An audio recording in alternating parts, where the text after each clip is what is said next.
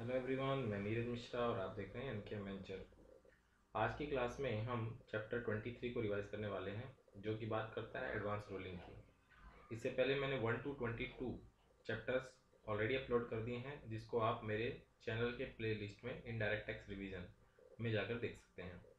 इसके अलावा आप मेरे channel Telegram channel N K ventures को ज्वाइन कर सकते हैं। टेलीग्राम में आपने सर्च करना है एन के वेंचर्स वहाँ से मिल जाएगा आपको। तो उसे ज्वाइन कर लीजिए, ताकि जो भी फर्दर अपडेट्स हैं और जो नोट्स हैं वो आपको वहाँ पे मिल जाएँगे। इसके बाद जो इलेक्टिव लॉ का पेपर है, उसके जो क्विक समरीज हैं वो आने वाले हैं, और इनडायरेक्ट टैक्स के ऑफकोर्स जितने भी चैप्टर कंप्लीट हो जाएँगे, उसके भी मैं छोटे छोटे वीडियोस ताकि आपको एग्ज़ाम के टाइम में फटाफट सारे प्रोविजंस को रिटेन करने में हेल्प मिले, वो अपलोड कर दूँगा। और आप जैसे जैसे कमेंट कर रहे हैं, कुछ इसमें इम्प्रूवमेंट की बात कर रहे हैं तो वो मैं कंसिडर कर रहा हूँ अपने नेक्स्ट वीडियोज़ में। तो कमेंट भी ज़रूर कीजिएगा, बताइएगा कि और क्या इम्प्रूवमेंट कर सकते हैं। उसके अलावा अच्छे से प्रिपेयर कीजिए और ये क्लासेस बेसिकली इस पर्पज़ के लिए दिए जा रहे हैं ताकि आप आई की स्टडी मटेरियल को देख करके सामने फटाफट उसको गो थ्रू करके एंटायर कॉन्सेप्ट को रिकॉल कर सकें। दूसरी बात, मेरा एक क्लास था, इसमें शायद नाइनटीन है।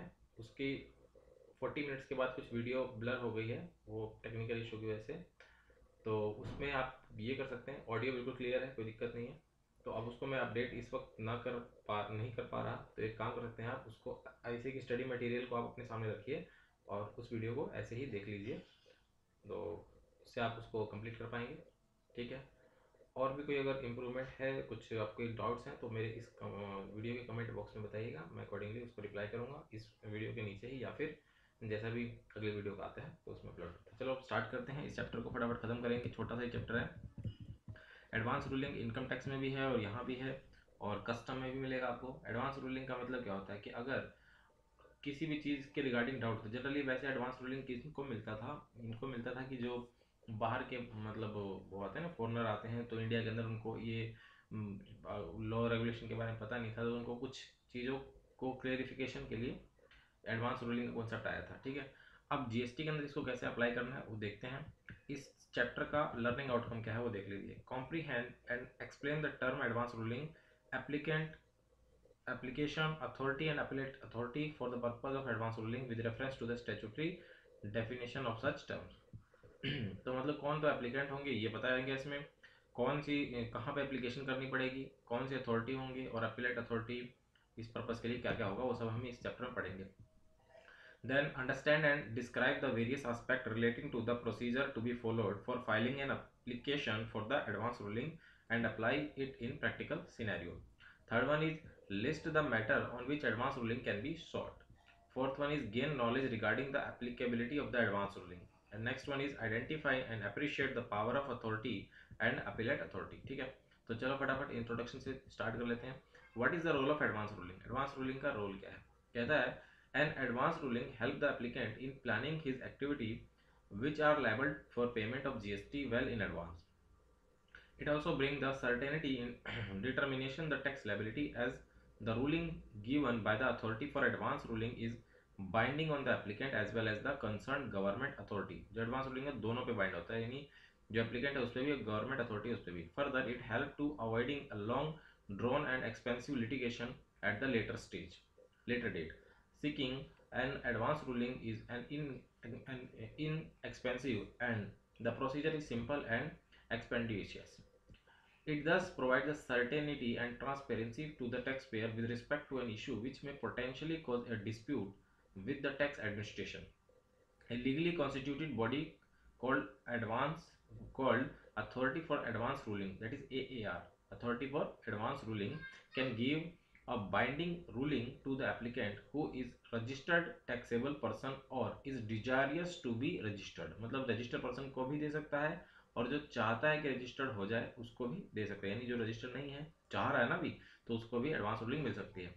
The advance ruling given by the authority can be appealed before an appellate authority for advance ruling that is A A R appellate advance appellate for authority appellate authority for advance ruling ठीक है? There are time line prescribe for the passing order by the A R and by the triple A R ठीक है? तो basically वही है appellate जुड़ गया है उसके आगे और appellate for appeal for the advance ruling ये authority for advance ruling appellate authority for advance ruling ठीक है? तो इनके टाइमलाइन कैसे कैसे हैं? Provide the certainty the broad objective for the setting of mechanism of advance ruling are provide the provide the certainty in the tax liability in advance in relation to the activity proposed to be undertaken by the applicant.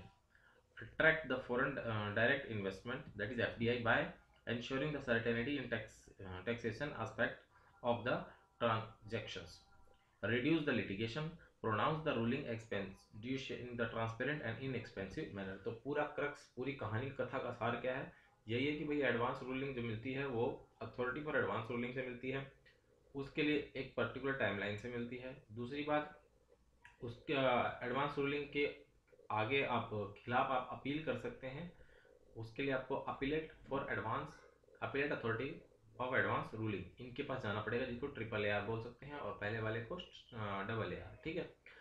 तो इनके पास जाना पड़ेगा अच्छा इसकी ज़रूरत क्यों पड़ी? इसकी ज़रूरत इसलिए पड़ी कि बाद में अगर कोई, जैसे लगता है कि लॉ में कोई टकराव है मतलब हम इंटरप्रिटेशन कुछ और निकाल रहे हैं, लॉ कुछ का, कुछ और हो सकता है तो हम उसको क्लेरिफाई करना चाह रहे हैं ताकि फ्यूचर में वो डिस्प्यूट ना हो। हमने कुछ और समझ करके अकॉर्डिंगली अपना कंप्लायंस कर लिया, लेकिन बाद में डिपार्टमेंट कुछ और मान करके हमें डिमांड भेज देगा तो फिर इसमें डिस्प्यूट आ जाएगा। तो वो डिस्प्यूट को खत्म करने के लिए हमने पहले ही डिपार्टमेंट से पूछ लिया कि भैया, हमें यहाँ कन्फ्यूज़न है, आप हमें बता दो कि क्या होगा। अब ये जब बता दिया जाएगा एडवांस रूलिंग में ना में ना तो वो दोनों पे बाइंडिंग हुआ, किस किस पे?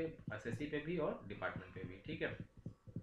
अब कुछ डेफिनेशन है, वो हम फटाफट लिख लेते हैं। Advance ruling means the decision provided by the authority for the appellate authority to an applicant on matter, on question specified in subsection 2 of section 97 and subsection 1 of section 100 in relation to supply of goods or sub service or both being undertaken or proposed to be undertaken for the applicant. तो advance ruling जो section 97 और 100 में बताए गए हैं, उनके लिए मिलता है।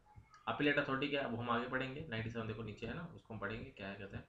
अपीलेट अथॉरिटी होता है क्या? Appellate authority means the appellate authority for advance ruling referred in section 99 जो कि 99 में कहा गया है, वो भी हम पढ़ेंगे। Applicant means a person registered और desires to be obtain registration under this act application means an application made to the authority under subsection 1 of section 97 authority means an authority for advance ruling referred in section 96 अभी सारा को refer कर दिया इसने definition में तो हम इनको उन उन सेक्शंस के कंसर्न एरिया में जाके पढ़ते हैं। तो चलो, सबसे पहला सेक्शन हमारे सामने आता है सेक्शन 97 जो कि कहता है question question for which advance ruling can be sought question for the advance ruling can be sought तो कौन से वो क्वेश्चन हैं जिसके लिए आप एडवांस रूलिंग ले सकते हो, ठीक है? तो इसको हम पढ़ते हैं। सेक्शन नंबर 97 बात करता है question for which advance ruling can be solve तो कौन कौन से क्वेश्चन हैं जिनके ऊपर एडवांस रूलिंग ली जा सकती है? तो पहला वाला क्वेश्चन है क्लासिफिकेशन ऑफ़ एनी गुड्स और सर्विस और बोथ क्लासिफिकेशन किस तरह की होगी, उसके ऊपर आप एडवांस रूलिंग ले सकते हैं। सेकंड कहता है applicability of the notification issued under the provision of C G S T act application of the notification issued under the provision of C G तो प्रोविज़न अगर सी जी के अंदर इशू हुआ है तो उसको किस तरीके से उसका एप्लीकेशन होगा, उस पर भी आप एडवांस रूलिंग ले सकते हैं।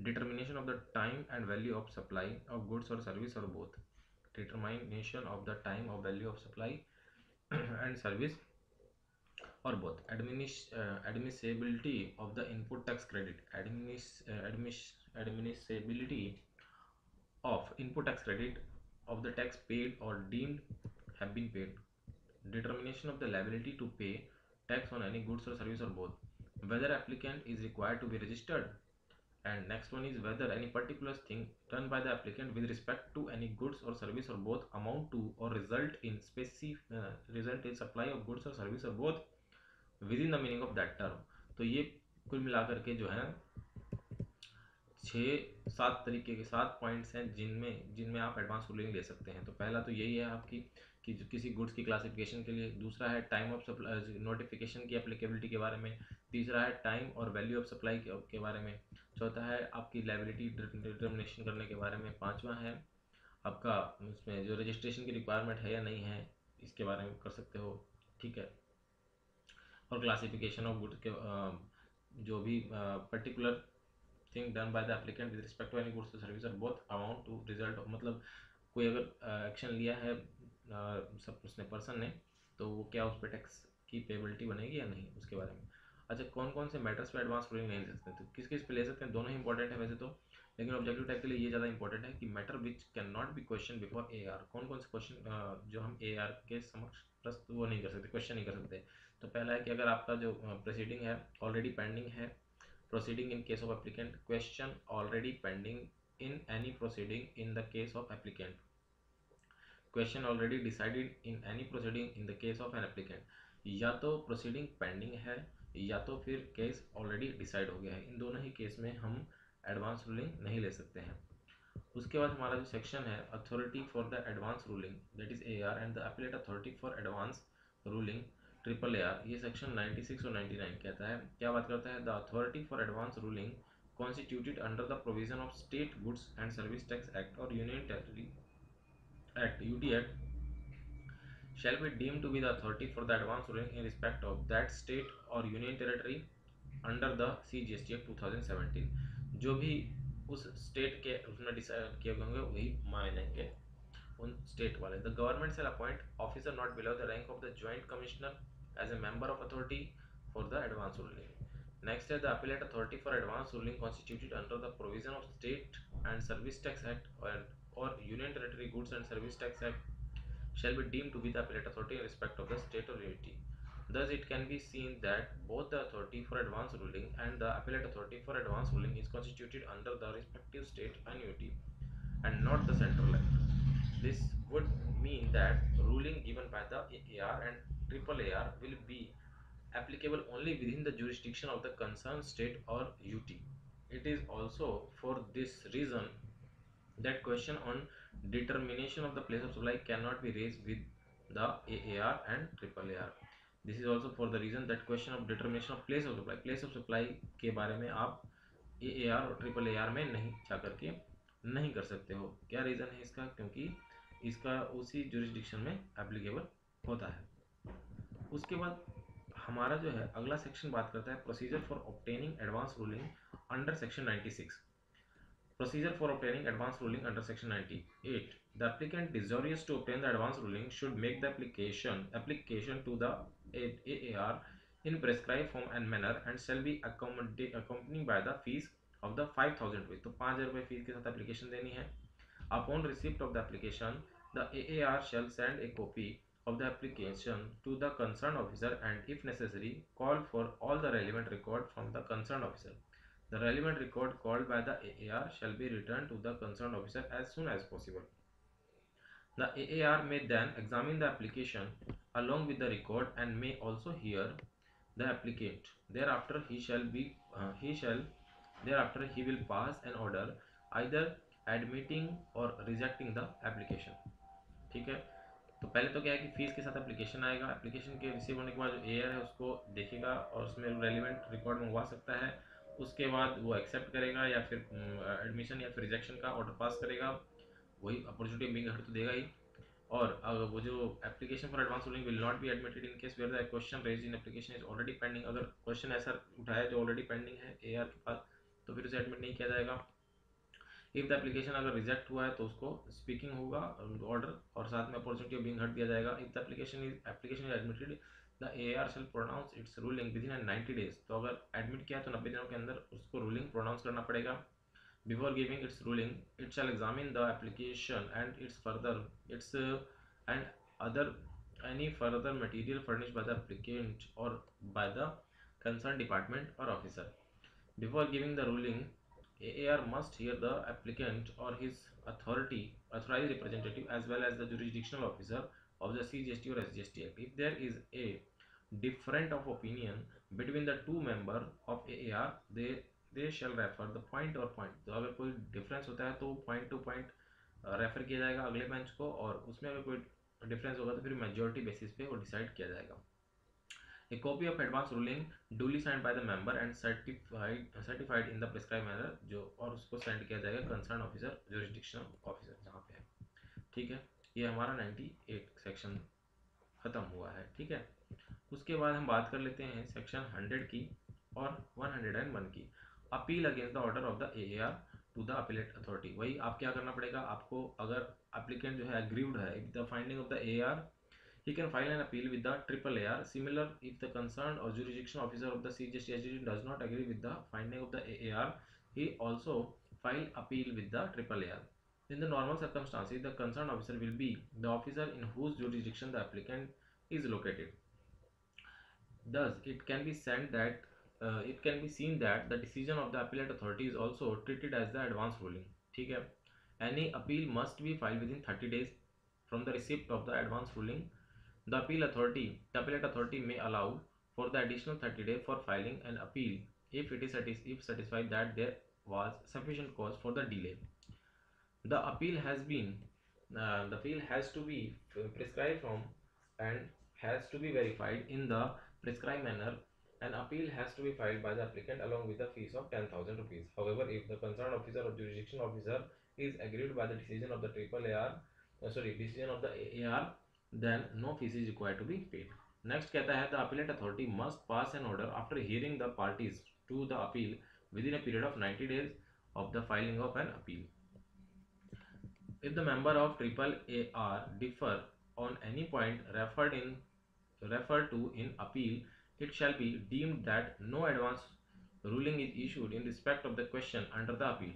The said authority can either confirm or modify ruling. तो बेसिकली मुद्दे की बात यह है कि वो तीस दिनों के अंदर आपको अपील करनी पड़ेगी, चाहे आप डिपार्टमेंट, चाहे दूसरा अप्लीकेंट है, ठीक है, गरीब पार्टी को अपील करनी पड़ेगी, तीस दिनों के अंदर एक हज़ार रुपये फ़ीस लग जाएगी और अगर एडमिट करने के जो है किस प्रकार का डिसीज़न दे सकता है नाइन्टी डेज़ के अंदर वो जो है, पार्टी जो ट्रिपल ए आर है, वो डिसीज़न दे देगा दोनों पार्टी को सुनने के बाद, एक सर्टिफिकेट इशू करेगा जो कि स्पीकिंग होगा ऑर्डर ठीक है, उसको एक्सेप्ट कर सकता है और जो पुराने वाले जो है, उसी को रिपीट कर सकता है, ठीक है, या फिर उसको मॉडिफाई भी किया जा सकता है तो इस प्रकार से ऑर्डर इसमें पास होंगे ठीक है rectification of mistake under section 102 क्या कहता है the law given gives the power to the A R and triple A R to amend their order to rectify any mistake apparent from the record within the period of 6 months from the date of order. Such mistake may be noticed by the authority on its own uh, on accord or may be brought to brought to it notice by the applicant और concern jurisdiction तो आप जो भी operate from record है ना तो वो दोनों ही पार्टी छः महीने के अंदर अंदर रेक्टिफाई कर सकते हैं। If the rectification has the effect of enhancing the tax liability और reducing the quantum of the input tax credit the applicant must be hear before the order pass तो अपॉर्चुनिटी बिंग हट देना पड़ेगा, उसके बाद ही वो ऑर्डर को amend कर सकते हैं। अगर ऐसा लगता है कि टैक्स जो है का वर्डन उस पर उस पर जा रहा है पार्टी पे मतलब टैक्स पे पे जा रहा है। सेक्शन 103 क्या कहता है? Applicability of the advance ruling an advance ruling pronounce by the A R and triple A R shall be binding only on the applicant ये बहुत अच्छे ध्यान रखना है कि क्वेश्चन आ सकता है कि वो फलाने आदमी पे ए आर हो गया तो क्या ये दूसरे वाले आदमी पे भी बाइंडिंग होगा? नहीं। जिसको ए आर मिला है, वो उसी पे बाइंडिंग होता है। एडवांस रूलिंग जिस पे मिला है, उसी पे बाइंडिंग होता है। ठीक है? The applique the advance ruling pronounce by the A R और triple A R shall be binding only on the applicant and on the concerned officer or the jurisdictional officer in respect of the applicant. This clearly means that an advance ruling is not applicable to similarly placed other taxable person in the state. It is only limited to the person who has applied for advance ruling. The law does not provide for a fixed time period for which the ruling shall apply. Instead, it has been provided that advance ruling shall be binding till the period when the law, fact or circumstances supporting the original advance ruling has not been had not changed. ठीक है जब तक तो तब तक support करेगा जब तक ये ओरिजिनल एडवांस रूलिंग चेंज ना हो ठीक है अगला बात करता है सेक्शन 104 कहता है advance ruling to be void in certain circumstances कुछ केसेस में एडवांस रूलिंग वॉइड माना जाता है कौन कौन से केसेस हैं Section 104 states the circumstances under which the ruling would be considered as a void and hence would, uh, would lose its binding value. If the authority, uh, AAR and appellate authority find that the advance ruling pronounced has been obtained by the applicant, uh, applicant or appellant, appellant by the fraud or suppression of the material fact or misrepresentation of the fact, it may by order declare such ruling to be void ab initio. Consequently मतलब अगर fraud वाले intention से आपने कुछ document को गलत produce करके अगर आपने एडवांस रूलिंग लिया है तो उसको फ्रॉड वो उसको नल एंड वर्ड मान लिया जाएगा वर्ड एवन इश्यू मान लिया जाएगा। Consequently all the provision of the C G S T act shall apply to the applicant as if such advance ruling has never been made but excluding the period when advance ruling was given and up to the period when the order declaring it to be void is issued an order declaring advance ruling to be void can be passed only after hearing the applicant या फिर appellate next कहता है copy of the order so made shall be send to the applicant the concern officer and the jurisdictional officer तो उनको अपने जो भी jurisdiction officer है, उनको कॉपी उसका भेज दिया जाएगा, ठीक है? उसके बाद हमारा नेक्स्ट पॉइंट कहता है section one hundred five hundred and six एक सौ पाँच और एक सौ छः, ये कहता है power and procedure power and procedure for A R and triple A R Both the AAR and AAAR vested power of the Civil Court under the Code of Civil Procedure 908 for discovery and inspection, enforcing the attendance of the person examining him on oath, issuing the commissioning and the compiling for reduction of the book of account or record. Both the authority are deemed to be civil court for the purpose of section 195 of the Code of Criminal Procedure. Both the authority are, uh, are however not treated as civil court for the purpose. Any proceeding before the authority shall be deemed to be the judicial proceeding under section 193 uh, and 228 of, for the purpose of 196 of the Indian Penal Code 86 80 eighteen sixteen ठीक है तो इस तरीके से जो है advance ruling हमारा खत्म होता है एडवांस रूलिंग को अगर मैं क्विक समरी 10 पॉइंट्स है ना हम वन, सारे टेन पॉइंट्स को करेंगे। तो सबसे पहला पॉइंट हमारा इंट्रोडक्शन का था, जो कि बात कर रहा था कि एडवांस रूलिंग क्यों किया गया है। तो इसमें फॉरन डायरेक्टर को, जो एफ़ है, उनको अट्रैक्ट करने के लिए उनको कोई दिक्कत ना हो, या फिर जो भी टैक्स पेयर है या डिजायरिश टू भी टैक्स पेयर बनना चाहता है मतलब वॉलेंट्री बन सकता है बनना चाहता है तो उनके लिए भी वो, उनके डाउट्स को क्लियर करने के लिए ये लाया गया। दूसरे पॉइंट में हमने कुछ डेफिनेशन पढ़ी थी, जो कि अलग अलग सेक्शन को रेफर कर दिया था। सेक्शन 97 में हमने पढ़ा था कि कौन कौन से क्वेश्चन है जिस चीज़ पे आपको एडवांस रूलिंग मिल सकती है। तो पहला तो ये हमने पढ़ा था कि टैक्सेबल वैल्यू के बारे में मिल सकती है या टैक्स प्लेस के बारे में क्लासिफिकेशन ऑफ़ गुड्स और सर्विस के बारे में मिल सकती है।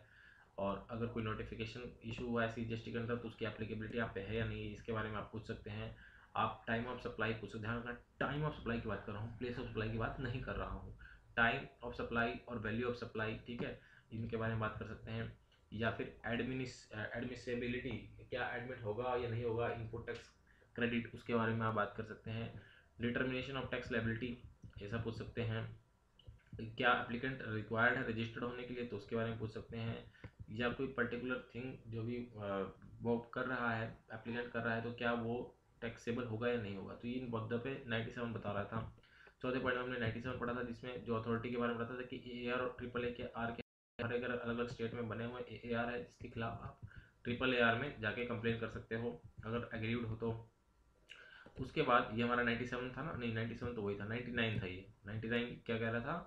कि एडवांस रूलिंग कैसे कैसे बने हुए हैं और कहाँ कहाँ कंप्लेन कर सकते हैं, ठीक है? उसके बाद हमारा नाइन्टी एट पढ़ते थे, जो प्रोसीजर एडवांस रूलिंग ऑप्टेन करने का प्रोसीजर क्या है, आपको एप्लीकेशन देनी पड़ेगी फ़ीस लगा करके। और उसके बाद आपको जब एडमिट होगा या फिर रिजेक्ट होगा रिजेक्ट होगा तो अपॉर्चुनिटी बिल भर दिया जाएगा। और अगर एडमिट कर लिया तो स्पीकिंग ऑर्डर होगा, ठीक है?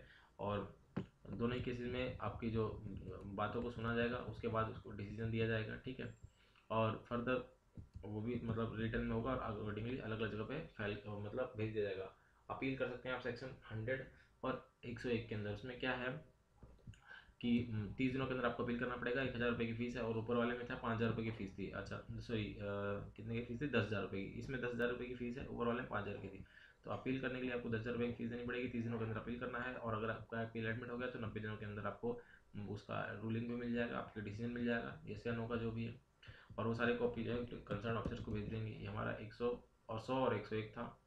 102 में हमने रेक्टिफिकेशन की बात था, जो अपीरेंट फ्रॉम रिकॉर्ड है उसके बारे में बात की थी। हमने 103 के अंदर एडवांस रूलिंग की एप्लीकेबिलिटी उसी बंदे पे है, जिसको वो, जिस पे वो लागू होता है, ठीक है?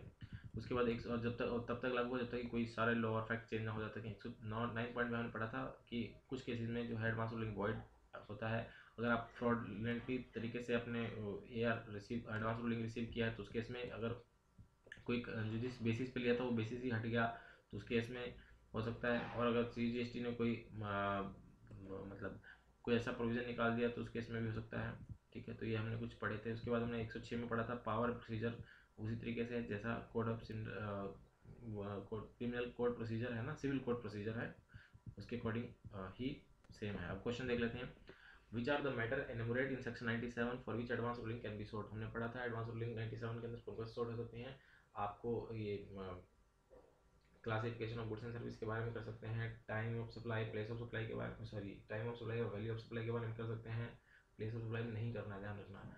Time of supply value of supply हो गया। इसके अलावा आपकी टैक्स की लाइबिलिटी बनती है, नहीं बनती है, अगर कोई नोटिफिकेशन होता है, वो अप्लीके उसकी क्या एप्लीकेशन होगी, उसके अलावा आप ले सकते हैं एडवांस रूलिंग की आप जो आप रजिस्टर्ड हैं मतलब लाइव फॉर रजिस्टर्ड हैं या नहीं है, इसके बारे में ले सकते हैं, ठीक है? कौन सी चीज़ें गुड्स है, कौन सी सर्विस इसके बारे में आप ले सकते हैं एडवांस रूलिंग इसके अलावा आप ले सकते हैं कि अगर कोई भी टैक्स पेयर ने कुछ भी काम किया है तो वो टैक्सेबल है या नहीं, इसके बारे में आप एडवांस रूलिंग के लिए अप्लाई कर सकते हैं।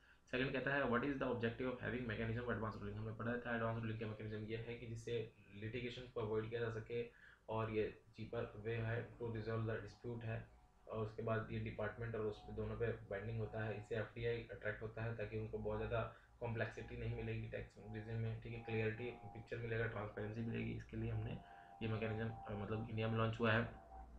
To whom will the advance ruling भी एप्लीकेबल जो एडवांस रूलिंग एप्लीकेबल है वो हमने अभी 103 में पढ़ा था ना? 103 में पढ़ा था ना एडवांस रूलिंग एप्लीकेबल देखो एप्लीकेबिलिटी एडवांस रूलिंग ये उसी बंदे के एप्लीकेबल होता है, जिस बंदे पे ये जिसने अप्लाई किया था वो उसी के लिए एप्लीकेबल होगा, किसी और पे अप्लाई नहीं होता है।